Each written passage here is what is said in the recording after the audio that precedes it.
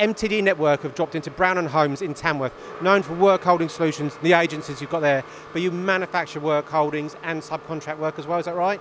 Yeah, it is. The, uh, I would suggest the, the core business is design and manufacture of work holding uh, solutions. But yeah, the, uh, that has given us the facility to have the, the machines that we've got on site that also offers us flexibility to offer subcontract machining.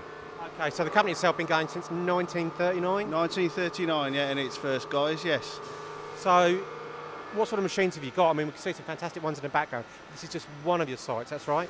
Yeah, this, this, this site has almost been set up to look after the what we class as the make to print uh, drawings, uh, where the other site is nominally um, manufacturing fixture parts.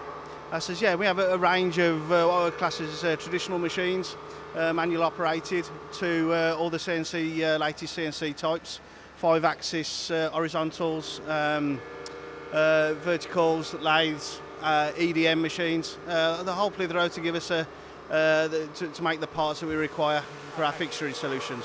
So, in terms of machining, the whole solution. It is, yeah, the whole solution, yeah. Okay, then, so what sort of industries are you working in? We're, we're uh, across m- many sectors, uh, defence, uh, power generation, automotive, um, uh, aerospace, uh, medical, uh, pharmaceutical, uh, and obviously the machine tool uh, providers we support as well. So, quite a fair list. Any sort of materials, though? Is there any sort of restriction on materials you work on?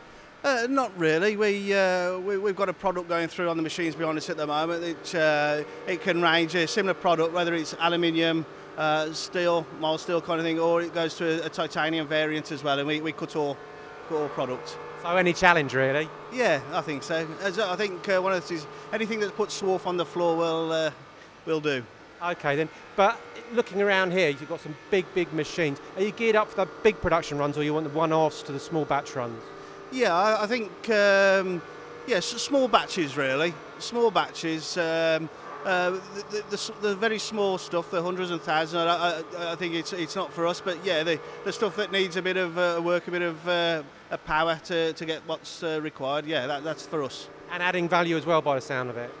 Yeah, I think. Um, yeah, th- with the design and manufacture side, it, it, it can be peaks and troughs. So uh, being able to offer uh, the, the, just the machining side, yeah, it's it all adds to the uh, the business model. Excellent. Fantastic machine shop. Just a very brief overview of it. Paul, thank you very much. Thank you. Cheers. Thank you.